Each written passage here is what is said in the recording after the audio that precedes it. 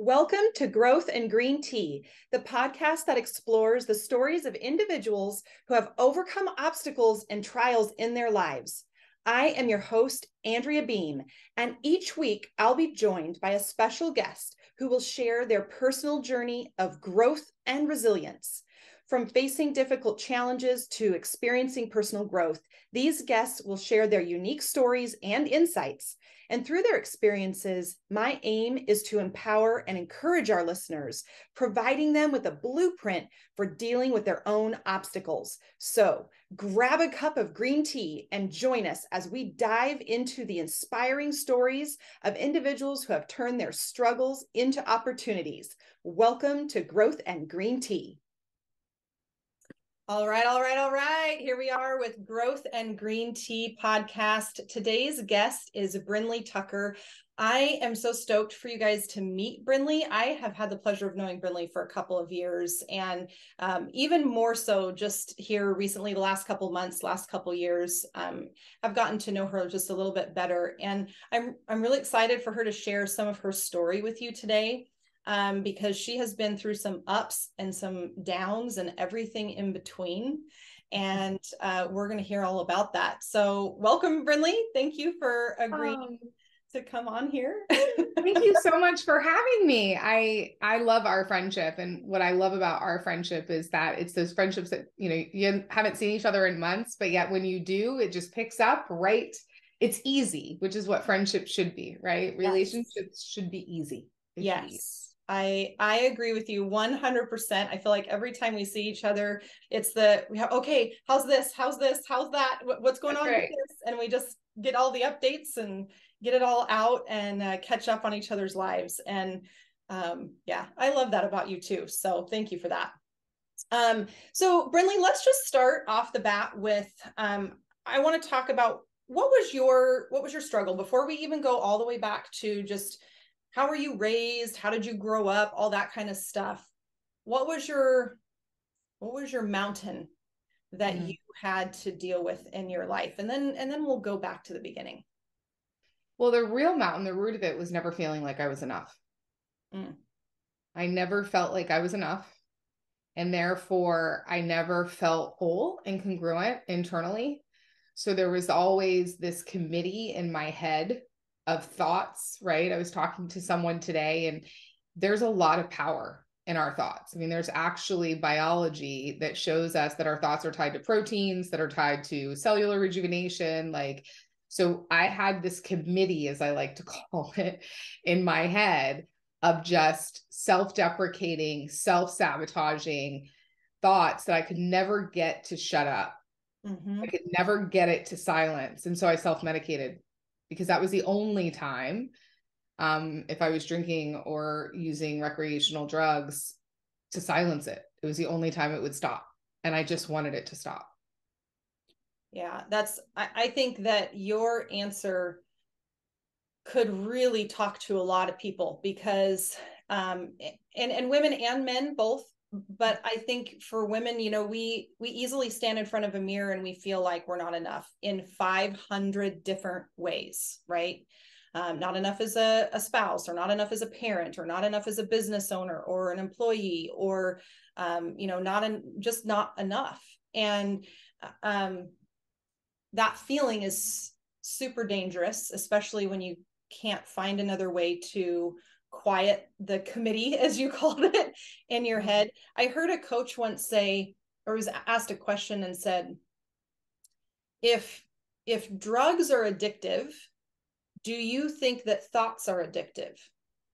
And it kind of stumped everybody in the audience, and everybody didn't kind of know what to say at first. And this coach went into this whole process of how our thoughts actually become addictive. It's you know the the neural pathways are formed when you repeatedly think those same thoughts. And it's not always just as easy as just flip a switch and don't think that way right? There there's work that has to go in that and you have done that. You've done a lot of work to reprogram how you think. So what was your uh, Brindley, what was your your self medication. What was that for you? Well, I just will add to I do agree that women it is more predominant in women, yet I don't believe that it is more predominant in women than men. I think it's more socially acceptable for women to talk about it, and therefore women talk about it more than men do. When men feel that they're in that cycle of negative thought processing, they're taught at a very young age you're a man, toughen up. You can't have feelings, you can't feel emotion. And so they actually will stuff and stuff and stuff. And a lot of them, you won't even know it's happening until it gets to the point of if you look at our friend Robin Williams. Yeah. Right. Like it doesn't get to the fact, usually their bottom is the worst bottom that they can get to. Where women, our bottoms typically tend to be a little bit higher, right? Because it's a little bit more socially acceptable for us. And I'm not here to get into a female male, yeah. you know, conversation, it all has to do with programming, which is exactly what you're talking about, right? Now, for me, I don't think talking about my substances is productive. So I'm not going to share with you all the things that I did in my my yeah. career, if you will. um, my primary substance that I used was alcohol. Okay. So let's back up just a hair and let's talk about I mean, do you feel like you had a I use I don't know about using this word, but normal a normal growing up? Do you feel like it was normal or do you feel like any part of your growing up contributed to finding a band-aid? Yeah, so I think normal is a setting on a washing machine. Really, there is no normal right? Um, your normal is different than my normal, different than someone else's normal. And the reality is, is that all of our programming and our core belief system is mostly formed by the age of seven, sometimes by the age of three. Mm-hmm. And that programming is influenced by the environment in which you're raised. So the minute that you come into the world and take your first breath, your brain's entire job is survival. It's to figure out how to keep you alive. And you can do that consciously or you can do that unconsciously. And a lot of our limiting beliefs, a lot of our baggage, a lot of what is preventing us from going to the next level actually sits in the unconscious mind, not the conscious mind. Because if it was conscious, we would just fix it and be able to move on. Mm-hmm. Right. And, and what you talked about with neural pathways, those are formed during the programming years. And that has to be when you go to reverse program, right? Because anything that can be programmed can be deprogrammed. It's just like a computer. So think of your brain as the CPU of your body, if you will. From the moment you take your first breath through your five sensory organs visual, auditory, kinesthetic, which is touch, olfactory, which is smell, and gustatory, which is taste it's taking everything in and it's trying to figure out what do I need to do to keep us alive? and it doesn't know what emotion is. It doesn't know what's right or wrong. It doesn't know the stove is hot right? It doesn't know if I step out in front of the car, I'm going to get hit. All of those things are learned behavior. So you think about brushing your teeth. You didn't come into the world out of the womb brushing your teeth, it was a learned behavior. So if something can be learned, then anything can be learned. When something's been programmed, we have to deprogram it first before we can reprogram it. Mm-hmm. So programming has to be done in the past, the present, and then the future right? So, right now, for instance, I am back working on this mantra of I am enough. And so my mantra throughout the day when I'm triggered where I'm in situations because I'm I'm starting to surround myself with people that have bigger pocketbooks than me, that are smarter than me, that are running bigger businesses than me. And all those feelings, even though I've done 12 years of work and I'm a totally different human, still come up. It's not like you wake up and overnight, boom, you're a different person because your unconscious mind stores everything. It's like think of it as a filing cabinet for your memories and your emotions. So it doesn't know situation, it only knows feelings, it only knows emotion. So when that emotion comes up, it triggers a fight, flight, or freeze or please response, a trauma response. Mm-hmm. Right.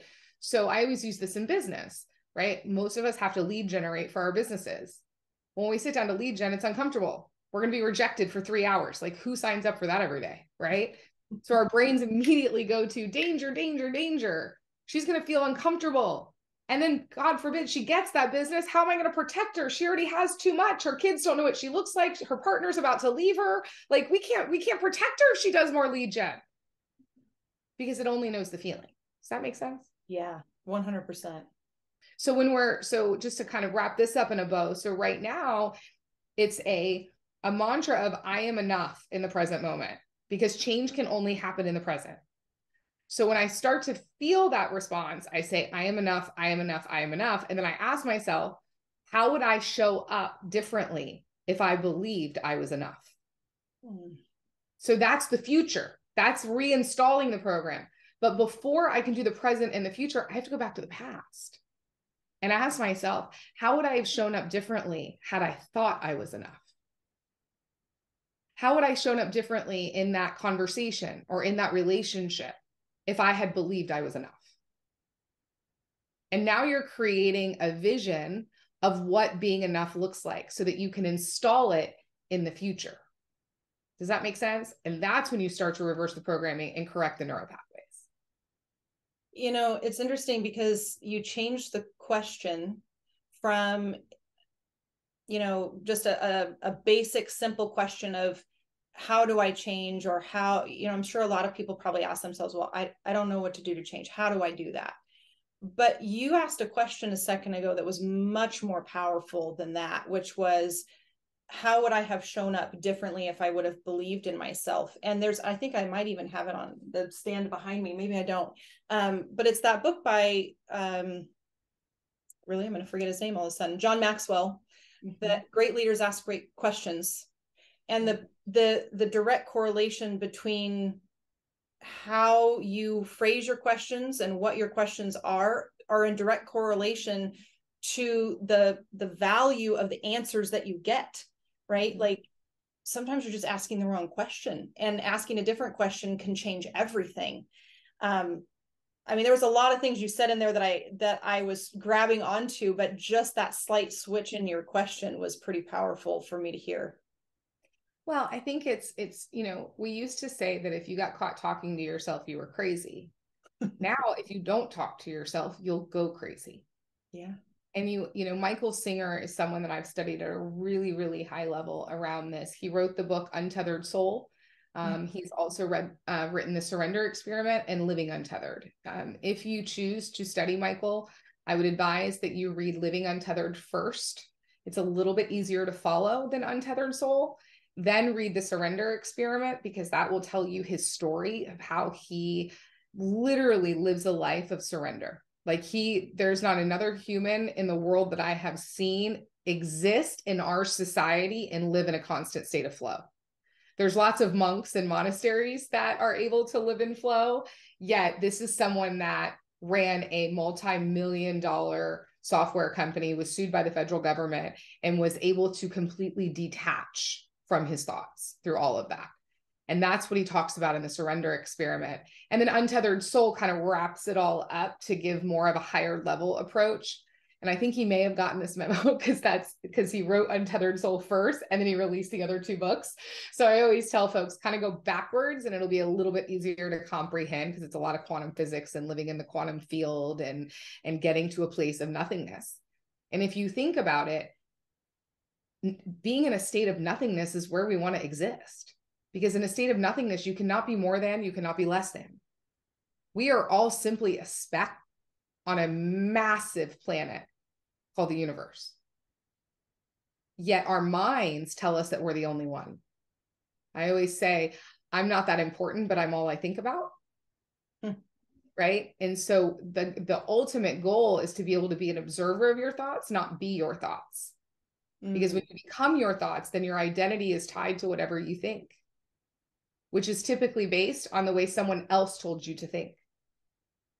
I love that. I'm taking that quote to be an observer of your thoughts. Mm-hmm. I don't know that I I don't know that I've heard the, quite that phrase before, but I have heard just um what is that phrase about you know your goals don't care how you feel.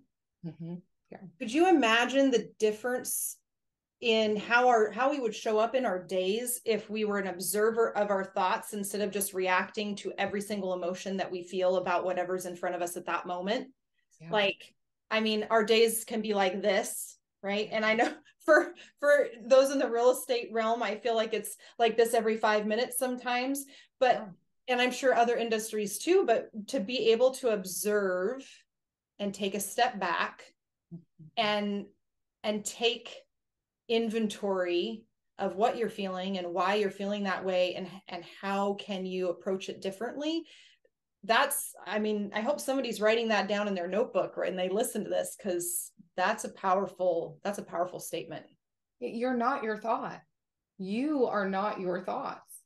You are an observer of your thoughts and you have reactions based on those thoughts which are based on the way that you were programmed when you first experienced the negative emotion and there's lots of books on this. There's a great book called Feelings Buried Alive, Never Die that studies um, neonatal um, um, emotional um, generational, like where you can actually inherit your mother's emotion through the womb.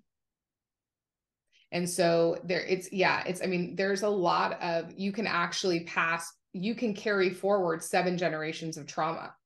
So you could be carrying trauma from 7 years back you can also pass forward seven years of trauma. So, for instance, I use Holocaust survivors as an example for this, right? Let's say that you had someone of our generation whose grandparents passed away in Auschwitz, but the children survived. Mm-hmm. That survivor's guilt can actually carry forward at the unconscious level seven generations. So, you could be dealing with survivor's guilt at an unconscious level that you don't even know you have. And therefore, all of your decisions are being based on this fear of having this survivor's guilt. You may please more. You may get into codependent relationships more because you you're dealing with a trauma response to guilt. So I, I say all of this not to confuse people and sound too woo-woo. I say it to give validation to the fact that 99% of the way that you think and feel, you did not choose to think and feel that way. It was chosen for you. Wow. And now that you know it, you can make the decision to change it. So you just kind of segued into my next question, which is, um, you know, and I know, I think I know your story just because I've heard it before in different settings and things like that, where you've, um, you've been very transparent and kind of shared your background. I know our listeners don't know a lot about that um, at this point. At what point at what point did you make a decision? At what point were you at a place where you knew you couldn't stay in that place anymore and you had to make a change? What what was that? What happened for you? What was there a trigger or was it something that was over time? I got out of jail one morning and I got home and I called the police station to find out where my car was and they told me it was being held in investigation of a vehicular homicide. And I hung up the phone and looked at my mom and said, What am I going to do if I killed someone? Because I had blackout drunk the night before and didn't remember anything.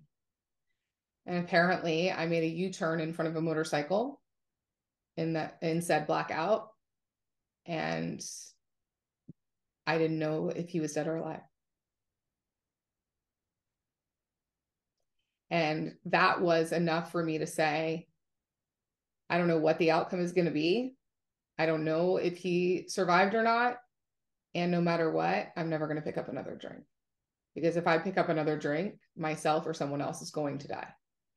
And I believe by the grace of God, the man did not die that night. Um, obviously, I did some pretty, you know, drastic damage. And I do believe that God didn't allow him to die that night because he knew I would be more useful here than I would be in prison for the rest of my life. And so I make amends to that man every day by staying sober and sharing my story with others so that they can change their lives. And I always preface it with it's simple, it is not easy. And most people don't do this deep work because it's not easy. Mm-hmm. And it's much easier to give in to our brains that want to protect us and say, no, no, no, no, danger, danger. It's uncomfortable. It's hard. It's, I mean, I can't tell you like how many nights I weep and don't want to get out of bed because it's hard.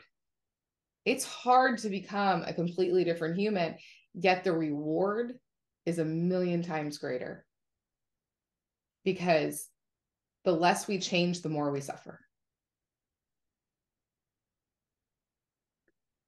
That saying about the you can either have the the pain of discipline or the pain of regret. Mm-hmm.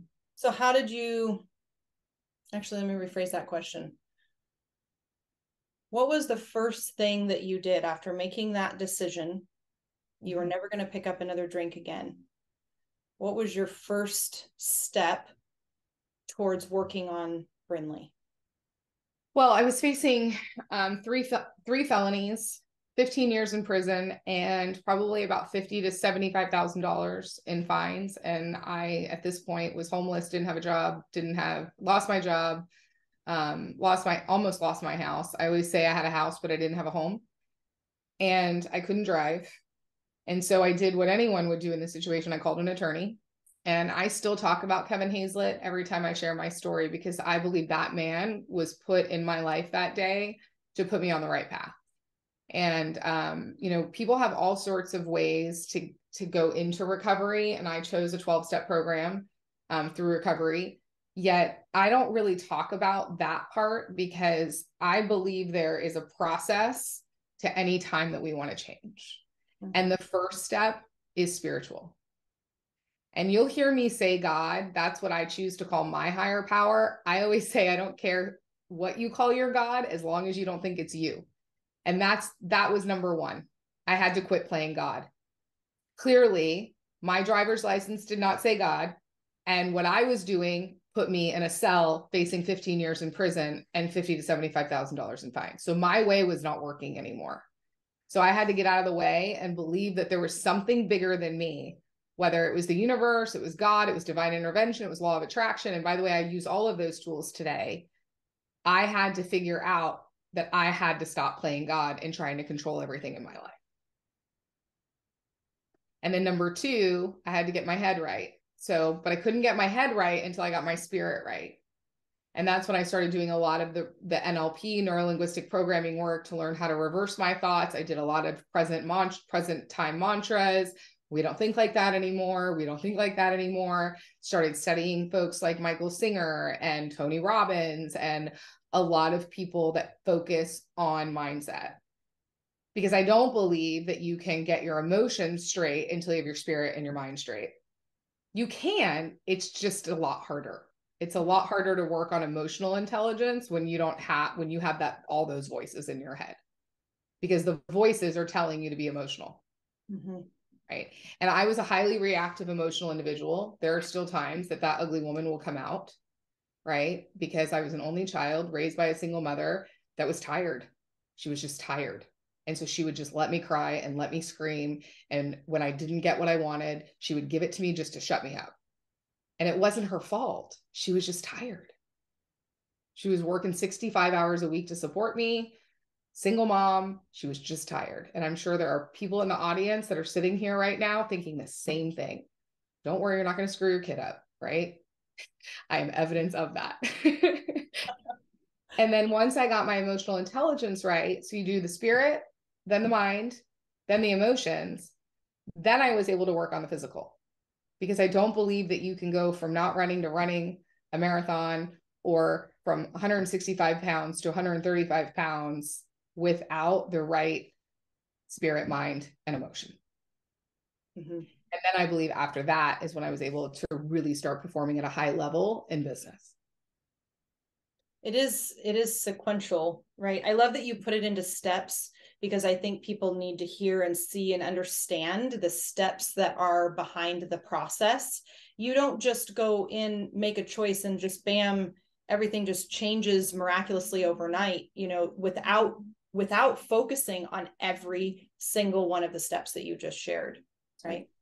Yeah. Um, it's uh, and in one of the other uh, interviews I was doing, we were talking about how the process become it's it's uh, the gradually then suddenly mm-hmm. right sometimes you you gradually get into um, your hole or whatever you want to call it and you you kind of you slide into it slowly slowly slowly slowly slowly and then you think that you're you're going to just overnight be out of the hole and i mean debt might be an easy way to like frame that story or that um, analogy but you know you typically you get into debt slowly gradually and you wake up one day and you're like holy crap i'm seriously in debt how am i going to get out of it well it's not suddenly right? It's usually gradually the same way that you got into it is the way that you get out of it.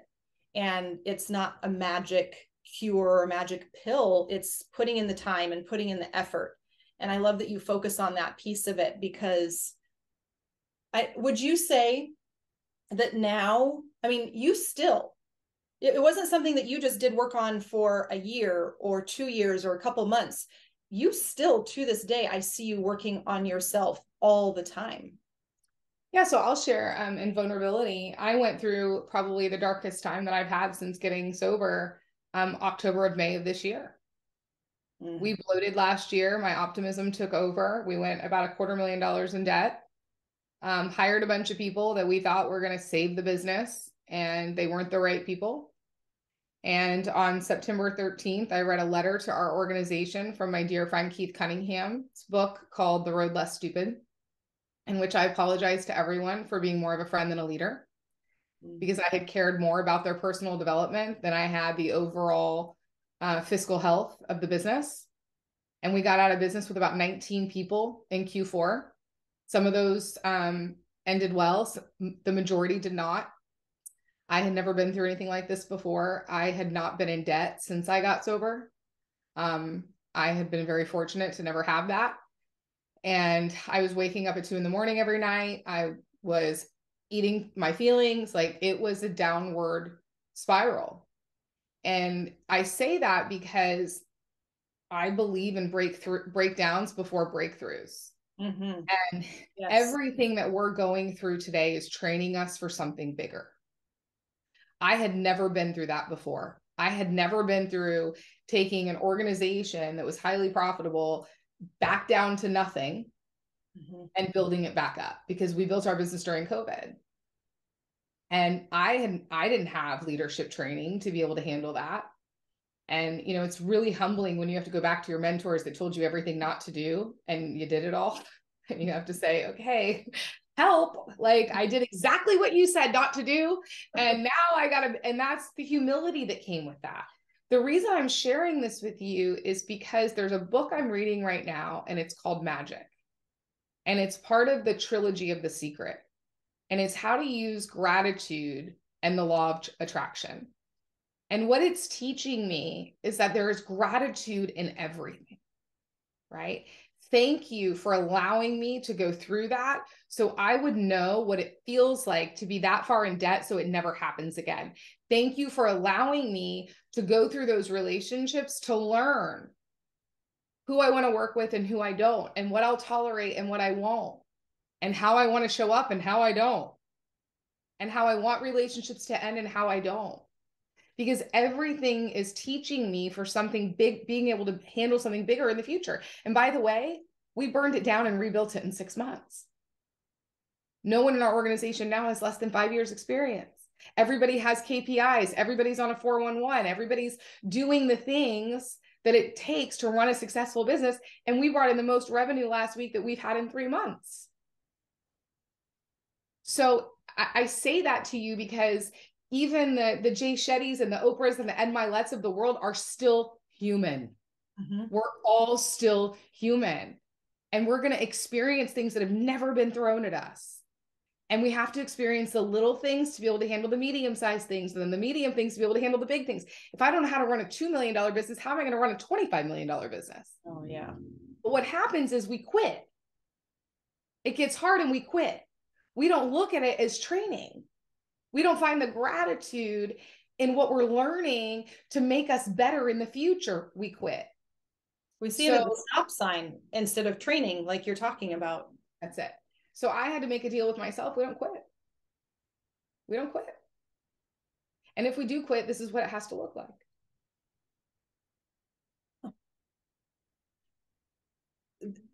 Wow. Um, I'm gonna ha- I'm gonna have to go back and listen to this myself because I've got so many nuggets I'm listening to you say that are are so powerful. And um, there was something that you said at the beginning of this. It wasn't even something that you said. It was just the fact that you shared that there was another mountain, right? It was a different mountain, right? It was a different mountain that you had to tackle, that you had to learn how to deal with. It was, um, I think there's a book out that that's called "What Got You Here Won't Get You There." I think mm-hmm. that's the name of it. Yeah. And it's you know that it's that philosophy or that mentality that i think it's dangerous to think that we're going to get through a mountain. We're going to get through this part of our journey that's really tough and difficult and hard and that we're not going once we get through it that that's it right? There's not going to be another one or we've arrived right? We've hit the end of our journey and we've arrived and and there's not going to be another hardship or there's not going to be another difficult path or spot and i think when you with you sharing that it just goes to show that you know it is a mentality. It's a mentality because you're going to tackle more than one thing right? And and nobody's immune. It does not matter who you are. It does not matter like you said ed, ed Mylett, oprah right? Like i think what happens is sometimes we put these people up on a pedestal mm-hmm. and we make them larger than life to where we cannot they they can they cannot do wrong, right? Or they want to humanize them. Yes. We want to humanize them. I was reading this the other day because someone said to me recently, you probably are under more scrutiny than I am because of how much you put yourself out there.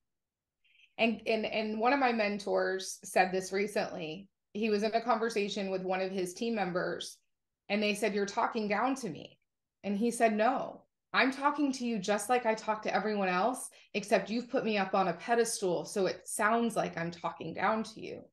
It's almost like we want to humanize these people when they put themselves out there and they're vulnerable.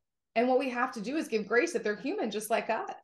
I mean, mm-hmm. Oprah's been sued for some pretty big things. If you look at her career, and I can tell you, Oprah at 35 would not have been able to handle the lawsuits that she faced as Oprah at 50 she had to go through the 35 to get to the 50.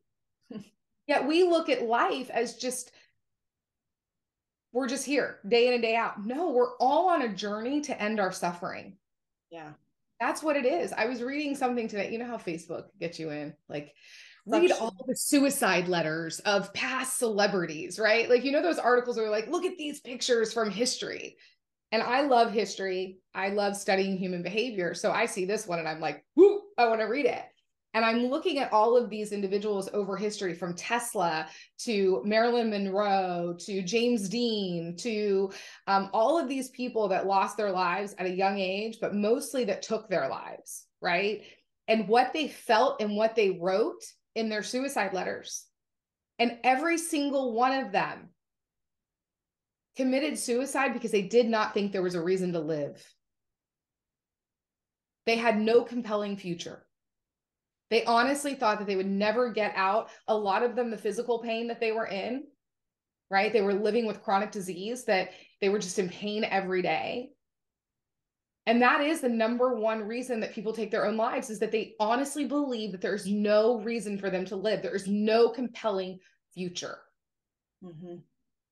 And Tony Robbins says it give me someone that's about to commit suicide, help, let me help them find a compelling future, and they'll want to live again. So this is why you also have to always be forward thinking of what are you what what is a life you have one life to live. And it's just a matter of choices. Your whole life is a series of choices. From the mm-hmm. moment you wake up in the morning to the moment you go to bed at night. Yep. And this is honestly I think what the best parenting book should be. The only parenting book should be is good choices, good consequences, bad choices, bad consequences. As a parent, I'm here to show you the choices that you can make and the consequences attached and then hold you accountable to them. Mm-hmm. Because that's really what I believe that I didn't learn at a young age. I didn't learn how to make good choices that had good consequences because I wasn't taught at an early age how to process my emotions properly. I wasn't taught at a young age how to get my mind under control. Because my mom was just surviving. you know it's the observations too like you said i get sucked into those things too just the the history and the and the stories of how things became because a large part of what i look for in those is the trends. What's the trend? What's the what's the common factor that you see throughout you know every story you read or um, i was watching something the other day about oh it was the foods that built america. And i got totally sucked into this. I binge watched it for a couple of hours and because everything was on a different food. You know some of it was nathan's uh, nathan's hot dogs in new york i think and um, lay's potato chips and fritos. And what was crazy to me is that so many of the stories, like over 90% of them, were stories of people that created these ideas or had these ideas during the depression. And they were it was that forced innovation right? They didn't have a choice. They had to get creative. They had to do something for their family for their business for um for their livelihood. And the the difficulties that they faced and the problems that they had to like solve to create their what now is like a household name in most cases is absolutely stunning. And every single one of the stories i listened to that was the common theme was it was created out of forced innovation right? It was a horrible time. There was more opportunities created during the depression than any other time in history.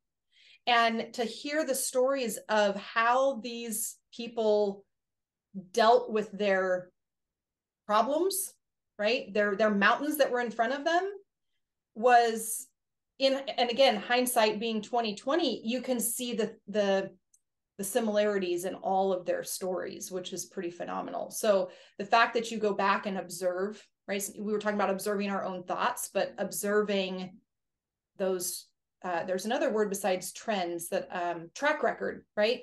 Going back and pattern. track record the patterns, yeah we all Tony have, Robbins talks all, about that. Yeah we we all have patterns right we all have patterns that we if you look back, you can identify what your pattern is. If you're not losing weight, you can see what your pattern is, right? I start going to the gym, I get really fired up, and then I get bored with my workouts and I stop going to the gym. That's a pattern, right?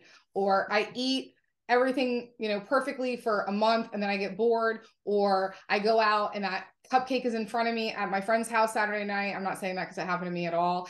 And then I'm eating the cupcake. That's a pattern, right? So we exist in a world of patterns and stories. Yeah. We have patterns which are driven by our unconscious mind. So I talked earlier about the mind. The conscious mind is what you see and perceive in front of you. The unconscious mind is where all of your memories are stored. Your conscious mind is the goal getter or the goal setter. So it says, I want to lose 50 pounds. The unconscious mind is the goal getter. Make sure you get to the gym, you keep going to the gym, you, you don't eat the cupcake. When the conscious mind and the unconscious mind don't match, meaning you don't go to the gym and you eat the cupcake, there's baggage. Mm-hmm. There is something that is preventing you from going forward. There's a great book that I'm reading right now called The Mountain Is You that's about self sabotage by Brianna. Um, I'll get her name for the notes. And, and, and it's about recognizing what your patterns are so that you can reverse the pattern. And then what stories are you living in? What stories are you putting on repeat in your mind that are keeping you in the place that you are? I am not enough is a story. I will never get out of the debt that I'm in is a story. Well, let me ask you, how would you need to show up to be the person that could get out of that debt? That's a new story. It's just a decision. What story are you going to continue to tell yourself, or what story are you going to change because you're the author of your life? Yeah. Yeah. It's literally picking up the pen. You have the pen, right? You have the pen. Otherwise you're you're just giving it away to somebody else. Here, you write my story. But but you have the pen to write to make those decisions to to um to to change a pattern, to change a course, to do something different you can make that decision to do that. I I love too though you mentioned earlier that you had I heard you say at least I think at least two or three names in there and I think you probably have a long list more of people that were extremely impactful in that journey, right? That made a difference in what direction that journey went. Um, and different people at different times, right? Um, not not all at the same time. Um, I mean, I know people that have made a difference in your life now right? In the last just year and and then people that made a difference in your life clear back when you know you were uh, waking up to that really hard phone call you know talked about the attorney. So yeah. it's it's definitely um i i th- you shared some really powerful tools in here. If you were going to if you were speaking directly to our audience and they're going through some difficult times. Doesn't matter what it is right? Could be an addiction it could be something else could be debt could be things aren't going well in their family or a marriage or it couldn't it, it could be it could be things aren't going well in their business right? I mean you know the the economy's been rough. And so people's businesses could be really struggling and they don't know how they're going to handle everything. Mm-hmm. it could be one of a million things. If you're speaking directly to our listeners. Mm-hmm. what do you think the biggest piece of advice is that you would give them towards just taking that first step towards making a different decision? Number one make the decision. Make the decision. Most of us don't make the decision until we're sick and tired of being sick and tired. Mm-hmm. or we hit a bottom of pain that we don't want to feel the pain anymore so first you've got to make the decision to change. What is it that you want to change? And are you committed not to the decision but to what it's going to take to change? See that's what happens is most of us say i want to lose 50 pounds and we're committed to losing 50 pounds. We're not committed to going to the gym five days a week, eating like a rabbit for a year, right? So you got to not only ask yourself, what is it that I want to change, but what is it going to take to get there? Mm-hmm. And then it's okay to pull it back a little bit. Rome wasn't built in a day. So if today you just want to, you know, Brindley said, focus on your spirit. I have to quit playing God. Yeah. So number one is getting to know you and what it's going to take to get the outcome that you want. And then it's 1% every day. 1%. That's it. You don't have to go from zero to 500 overnight. You just have to be 1% better today than you were yesterday. Yeah. And that 1%, I mean, do you have the, that analogy of like, um, I think it's, I heard this uh, from a past mentor about the rocket ship. And if the rocket ship is, is just what is that story about? Um, the course corrections, right? They're constantly making course corrections. Yeah. So Elon Musk, Elon Musk did a, a an interview and the poor inter, the poor podcast interviewer, he's like, so Elon, you know, on those days you just want to quit. Like, what do you tell yourself? Like, what do you do? And Elon being Elon's like, I don't know what you're talking about.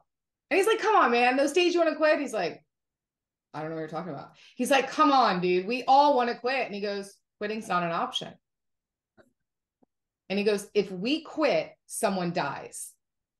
Our margin of error to go into space and put someone on the moon, because if you ever listen to Elon, crazy or not, like love him or not, this man has a vision to put humans in space, but not just land someone on the moon, to have like like human civilization in mm-hmm. space right? That's what the whole mission of SpaceX is. And so his margin of error is the smallest margin of error that you can get in anything that we pretty much do as a human, as, as a society.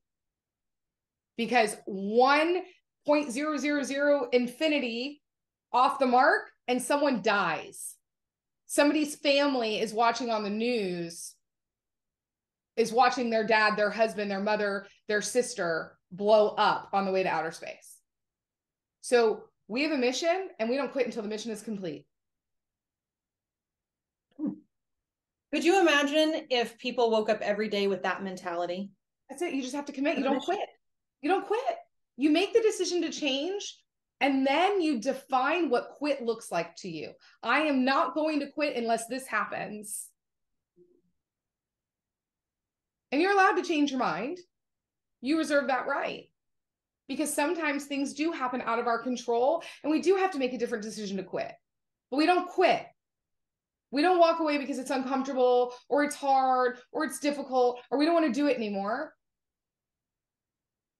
We get up and we make the decision to commit to the actions for the day. Yeah. And then we tell this thing to shut up. Because your head will have you dead. Yeah.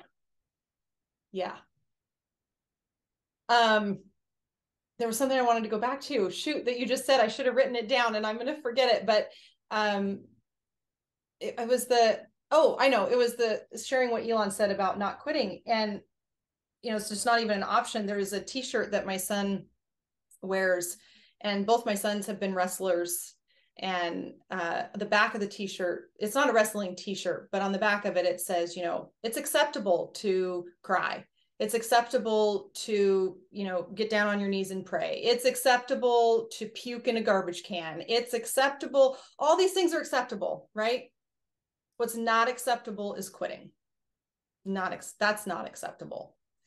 And for the wrestling world you know that's a um even though it doesn't it's not for the wrestling world it's actually for a, a project that's against uh it's fighting suicide for soldiers that have returned from serving um, in duty. And there's such a high suicide rate amongst soldiers coming back. And so that's what this it's actually like a, a fundraiser for this program that helps prevent that and and works to help those soldiers coming back.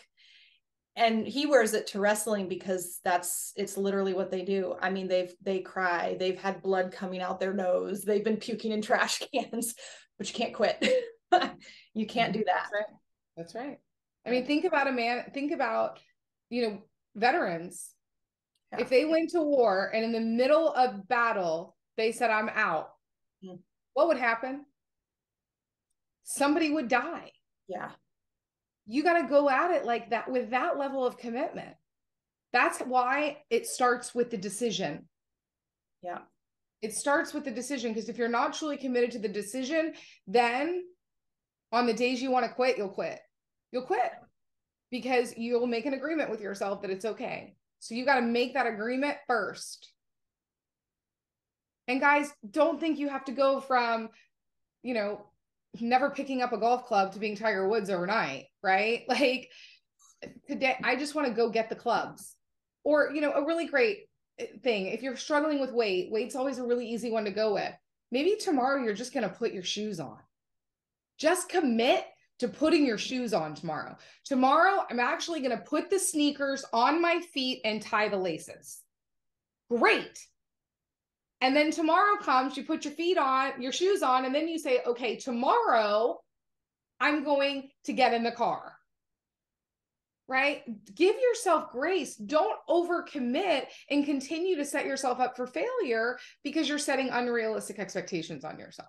Yeah. Yeah. Be that minute. Amen. I feel like I need to have you repeat that very loudly. Because we try to go from zero to 60. That's it and that's not realistic you that's know it. I went and rode a horse this weekend. I haven't ridden a horse since I was like 16. And can I tell you, there are parts of my body that are so sore that I just don't even think about. and and you know, for the cowboy that was riding riding ahead of us and the cowboy that was riding behind us, you know, they do it all the time. They've worked up that resilience to being able to ride every day and it doesn't bother them a bit. But for little old me that hasn't ridden until I was six since I was 16, um, it hurts. yeah. It hurts. And that's only because it's uncomfortable. But yeah. remember, you didn't come into the world learning how to brush your teeth. If you can learn how to brush your teeth, you can learn to do anything else. It's all learned behavior. Yeah. And and and practice does not make perfect. Perfect practice makes perfect. Say that again. Say that again. So practice does not make perfect perfect practice makes perfect. Yeah. Every single thing you do in life that you do today, you learned how to do it. Some things you learned how to do really well, and some things you didn't learn how to do really well. But the great thing is, you can learn anything. Learning doesn't stop when you leave school. The majority of our learning starts when we leave school. Ain't that the truth? yeah. Yeah. Oh, Brindley, thank you so much for being on My here. Pleasure. Like you've just dropped mic mic drops all the way through this. Um, I trust that our listeners are getting tons of value out of this and so. tons of tools to be able to use. Um, so we're going to be putting your links uh, in the description so people can click on those if they would like to to know more. Um, there is a website that um, we're going to put in the description. I need leverage.com.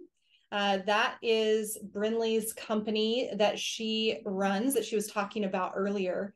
And can you just tell us just a, a give us a synopsis of what that company is and what it, what you do? Yeah. So as a small business owner, I saw a need that I needed leverage before I could afford leverage. So we've created a company that can give you fractional leverage, so temporary administrative support. And then once you're ready, we can actually hire um, full time leverage for you. We can hire assistants, uh, CFOs, COOs, CEOs, um, pretty much any position inside any type of company. Then we have a training division. We'll train them because we believe that leaders need to be focused on the business and driving revenue in the beginning. So we actually help take a lot of that heavy lifting off. You can also follow me on social media if you want more on the personal development um, side. i am going to have more being released this year. So just follow me, Brindley Tucker, on Facebook and Instagram. That's awesome. And what states do you work out of? Can you do any? All 50. Mm-hmm. All yep, 50. Yep. And we work in Canada, Mexico, and overseas. I love it. I love it. So if you guys hear that, if you need leverage, which who doesn't need leverage, then make sure you go to Brindley's website that will be posted. So and that website will actually um, get you a free business consultation, no obligation. We'll just take a look at your business and assess where you do need leverage or where you might be underutilizing your leverage. Bam. So you guys, please go. Please go to that. Please go to that website. Please do it for yourself. Get yourself leverage get yourself uh, the coverage that you need and i mean they cover all aspects of it. So i've been on some of your trainings and they are phenomenal. So definitely plug into that if you can. I am so stoked that you were able to be here brindley thank you so much for visiting me talking with me sharing your story with all the listeners. Um, one of the things that i really appreciate appreciate about you is that you're willing to be vulnerable and you're willing to share your story so that others can make a change. And it's inspiring and I love it. And I love you. So thank, thank you.